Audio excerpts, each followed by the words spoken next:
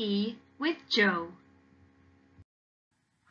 Hello, and welcome to the fourth instalment of FE with Jo. This month's video is slightly different because instead of being aimed at children and teenagers, it's made for parents, carers and professionals.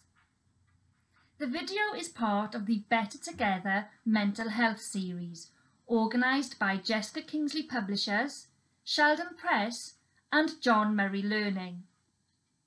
In the first 24 hours of my talk being posted on the Facebook page of Jessica Kingsley Publishers, it received over 1,000 views.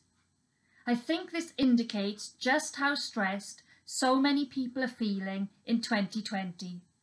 It's little wonder, given all that the year has brought so far, and still the uncertainty and worry it brings. Therefore, I hope by sharing this talk on my FE with Jo page, it will allow for shared insight into behaviour as communication in times of stress. As I say to children and teenagers who watch my videos, I encourage you too to cwtch in preferably with a cuppa, and hopefully enjoy.